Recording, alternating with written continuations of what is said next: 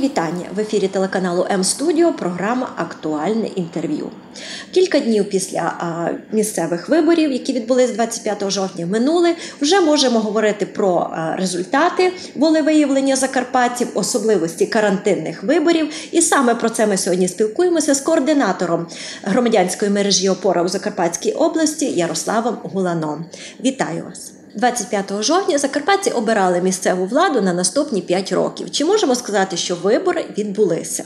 Загалом е, громадянська мережа опора за попередніми оцінками заявила, що вибори були такі, як конкурентні. Так, були певні порушення, були певні відхилення, але вони були у кожному регіоні країни мали свою специфіку, тобто не можна говорити, що на рівні країни якісь були спеціально сплановані там відхилення чи правопорушення, тому вибори в цілому. Конкурентно спроможні, але звичайно не без порушень. На Закарпатті ми не фіксували таких порушень, які би на виході могли реально вплинути на реальні результати. Були такі порушення, що до процедури. Тобто теоретично порушення процедури може бути підставою, наприклад, для оскарження. Результатів виборів чи у територіальних виборчих комісіях, чи навіть у судах, і навіть такі сигнали є, що певні учасники виборчого процесу оскаржують, е, вимагають перерахунку на окремих територіальних виборчих комісіях. Це власне пов'язано із процедурами. Ну, те, що були порушені процедури, це винні перш за все дільничі виборчі комісії.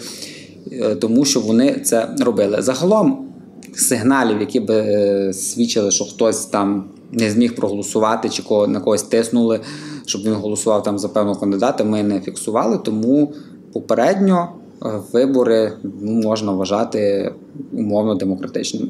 А які особливості цьогорічних виборів?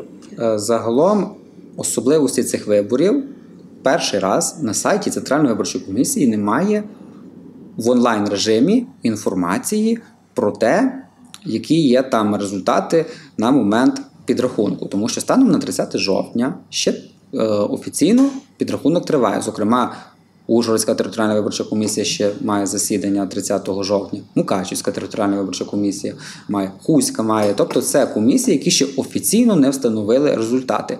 Результати паралельного підрахунку мають штаби партії, ну тому що вони маючи своїх членів комісії, по суті, охопили 100% області, тому вони можуть говорити про результати. Ну але офіційних результатів ще немає, тому ми наразі не можемо коментувати. І на сайті Центральної виборчої комісії, на відміну від попередніх виборів, також немає інформації, що в якому регіоні конкретно які результати там станом на, на, на підставі тих дільниць, які вже.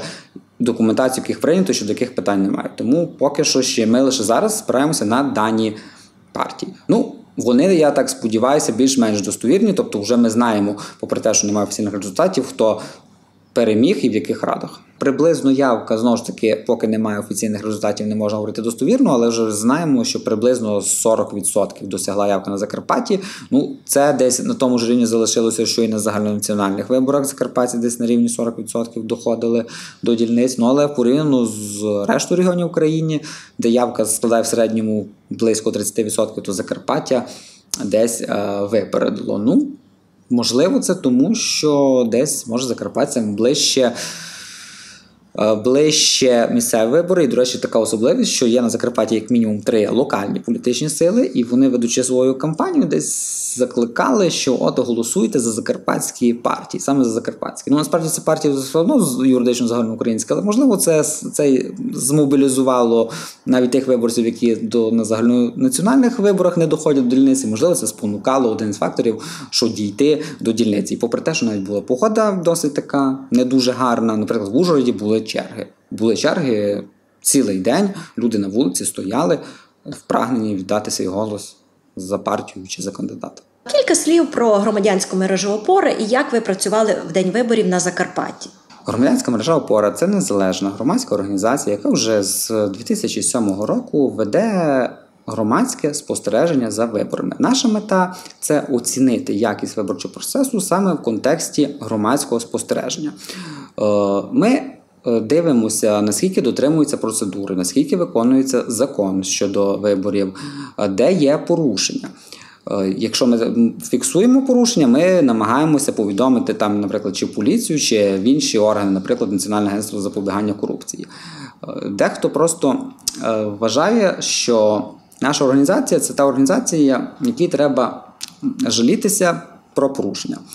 Ми отримуємо такі сигнали. Ну, якщо ці кричущі порушення, ми також звертаємося до правоохоронців, тому що всі правопорушення більшість це підслідність поліції. Але ми все таки закликаємо і нагадуємо всім учасникам виборчого процесу, що якщо вони бачать якісь порушення, чи навіть якщо виборці бачать правопорушення під час виборчого процесу, перш за все треба повідомляти поліцію. Ну і далі нас. Ми намагаємося, крім того, що ми фіксуємо порушення, повідомляємо поліцію, ми ще намагаємося слідкувати за реакцією. І, наприклад, якщо йти вже в історію, наприклад, 2019 року, коли вже ніби за парламентські вибори всі забули, вже зараз всі говорять про можливі дострокові вибори, ми ще слідкуємо за тими справами. Наприклад, в Мукачевському окрузі було близько 10 кримінальних справ проти членів дільничних виборчих комісій, і окремі справи ще тривають у судах Закарпатської області. Досі ми за цим слідкуємо, чи є там вироки, чи нема. Більшість цих справ закінчилися судовими вироками для членів е, ДВК.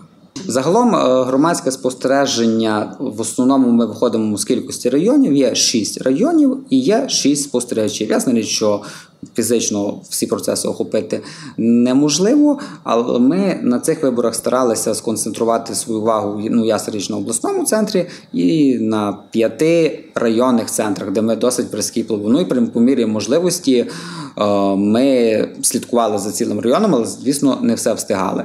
Е, це люди, які працюють е, за цивільно-правовим договором, тобто на гонорарній основі. А які найтиповіші порушення ви е, спостерігали, і можливо якісь новенькі технології?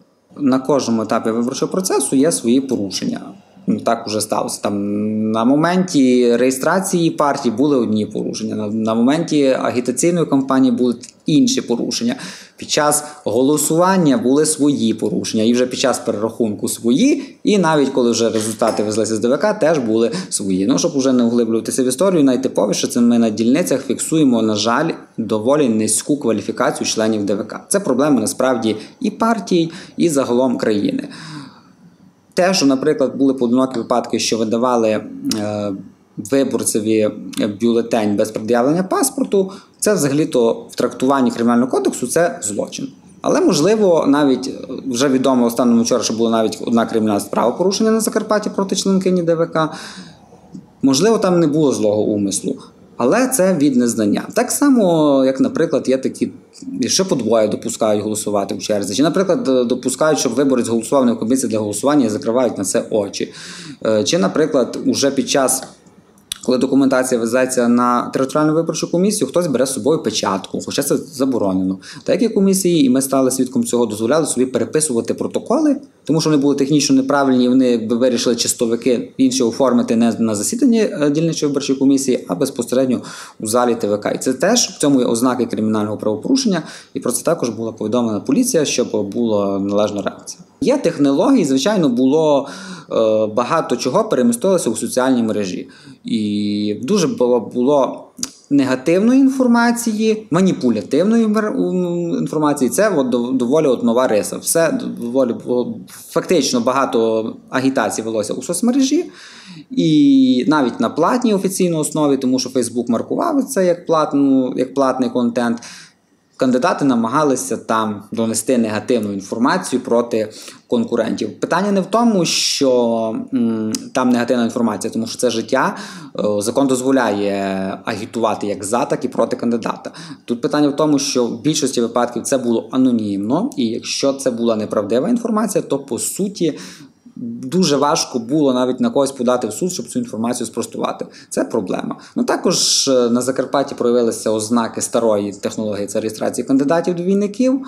От ну те, що не проблема, що людина з однаковим прізвищем реєструється, але проблема в тому, що, як правило, ці люди ну вони буквально не ведуть публічної діяльності, дехто з них навіть не зареєстрований в Закарпатській області як місце проживання. Це доволі свідчить, що це може бути технологія двійників. Ну також е, знову ж таки, оскільки партійна система, е, то виявилася така тенденція, що кандидати висунуті від одних партій, виявилося десь у реєстрах державних рахуються е, керівниками якихось осередків інших партій. І дехто почав казати, що це підстава для того, щоб. Скасувати реєстрацію уже від партій, але не було таких випадків, що скасовано. Наша позиція така, що якщо людина юридично рахується десь осередком, це ще не означає, що вона член тієї партії. Щодо підкупу, тут конкретно треба питати, як мінімум, компетентних правоохоронців або в тих, е, хто заявляє про підкуп. На жаль, дуже багато є інформації, що хтось організовано на Закарпатті мережі підкупу. Ну, опора не мала е, якихось е, документальних доказів, але я буду був би нещирий, якби я заявляв, що підкупу на Закарпатті не було. У мене немає доказів, але я не впевнений, що його підкупу не було. Тим більше, навіть що ви знаєте, що навіть є два кримінальні провадження: це у Міжгірському районі, і наскільки я пам'ятаю, в Віршавському районі є порушені кримінальні провадження проти конкретних громадян, які займалися прямим підкупом. Я сподіваюся, що це справа буде доведені до кінця. Я сподіваюся, що це буде уроком тим, хто хоче отак ну, нечесно і по суті злочинно завойовувати довіру виборців. Це щодо прямого підкупу. Ну і протягом кампанії, звичайно, ми дуже багато фіксували так званого непрямого підкупу, коли кандидати. Під час агітації, чи перед агітацією, чи вже можливо після своєї агітації щось там комусь дарували чи відкривали. Е, з точки зору закону, от якщо є два фактори агітація і надання послуги, це вже трактується як підкуп.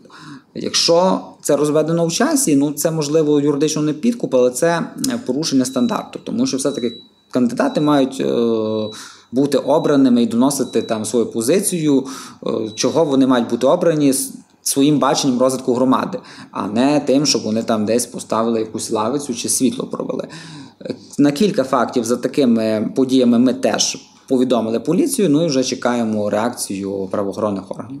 Чи були такі факти, що фотографували бюлетні і потім за це отримували гроші? Це теж таке типове. Е, типове питання задокументовано в Ужгороді, принаймні один випадок, що виборець фотографував бюлетень, але не доведено, що він е, брав за це гроші. Тобто, виборець пояснив, що це він собі на пам'ять. Е, сфотографував. Ну, загалом це порушення. Фотографувати бюлетені не можна, тому що це таємниця голосування. Навіть чоловік жінкою не має права зайти в кабінку. Звичайно, можете казати, за кого ви голосуєте, але ви не маєте надавати документального підтвердження, бо це тоді волевиявлення не буде таємний. А, наприклад, власне запорука, що, що вибори демократичні, це і є таємниця голосування. Ви знаєте, що і депутати там, коли обирають секретаря, таємне голосування, і виборці. Тобто є речі, де людина має таємно голосувати, щоб був об'єктивний результат. Пане Ярослав, які ж прогнози щодо результатів виборів у Закарпатті? Ну, загалом, е, мої прогнози, те, що вибори відбулися, але, от, наприклад, станом от, на 30 жовтня не встановлені результати. І най, найостанніше офіційно будуть результати встановлені, звичайно, щодо виборів Закарпатської обласної ради, тому що до обласної територіальної виборчої комісії, територіальні виборчі комісії, по суті, вже будуть іти, коли встановлять результати в себе. А, наприклад, ті ж міста Ужгород, Мукачево, Хуст ще не встановили. От, е, Нагадаю, що є партійна система. Нагадаю, що знову ж таки ходило дуже багато інформації, що в списках партій було багато технічних кандидатів і кандидаток, мета яких ну просто там забити, просто щоб місце було в списку. Щоб, наприклад, якщо 5 людей мітить в раду, то щоб ну не було цих 5 людей, а щоб було там 25. Так, це ще ні, ми побачимо от уже зараз, тому що якщо це дійсно інформація підтвердиться, то ці технічні так звані кандидати кандидатки мали би скласти мандат. Ну я в етері одного з каналів публічно запитував е, учасників виборчого процесу, чи правда ця інформація. Ну кожен учасник виборчого процесу заявляв, що в них немає нікого, і ніхто під уже коли будуть встановлені підсумки голосування, не буде е, відкликати. Ну хіба що ті люди, які балотувалися одночасно до кількох рад. Ну от зараз ми побачимо, чи буде. Е, відкликання своїх кандидатур чи будуть зміщуватися списки партій, тому що наголошую в містах, де більше і селах, де більше 10 тисяч виборців, Зараз виборці голосують саме за партії, а не за кандидатів. Хоча багато виборців десь в особистих розмовах каже, ми хочемо голосувати за кандидатів, а не за партії. То, що зараз зробив законодавець, цей виборчий кодекс, всіх нас привів зараз, хочемо ми того чи ні, до партійної культури. Що ми маємо голосувати саме за партію, а вже тоді за кандидата. А можемо навіть за кандидатів і не голосувати, а голосувати за партію, тоді якби партія сама вже визначає кандидатів від себе.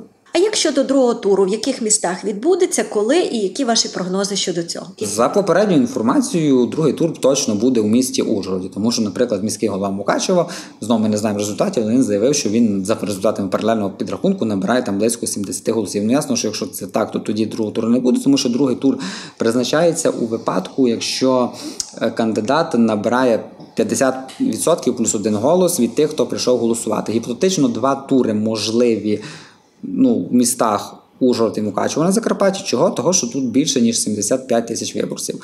І якщо кандидат не набирає 50% плюс один, тоді оголошується повторне голосування, яке більше журналістами називається другий тур. Але гіпотетично в маленьких громадах також можливо повторне голосування, тому що якщо в маленьких громадах там два е, кандидати на посаду сільського голови наберуть рівно однакову кількість голосів, або навіть якщо два кандидати в депутати, тому що там, де мажоритарка є, в маленьких громадах до 10 тисяч там мажоритарка лишилася, тобто там люди балотуються прості.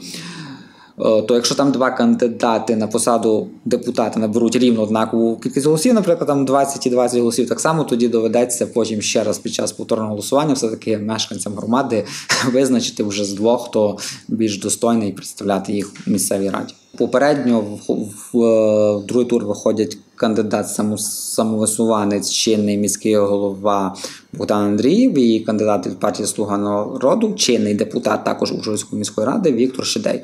Хто з них переможе, звичайно, вирішить е, вибори. Це гіпотетично або 15 листопада, або тижнем пізніше можуть бути оголошений другий тур. Це має бути рішення територіальної виборчої комісії про оголошення другого туру після встановлення результатів. За попередньою інформацією, найближчим часом мають бути офіційні вже результати. Що ж, дякуємо вам за інформацію і цікаву розмову. А вам, глядачі, що були з нами. Ви дивилися програму Актуальне інтерв'ю на телеканалі М Студіо. Попереду ще багато цікавого.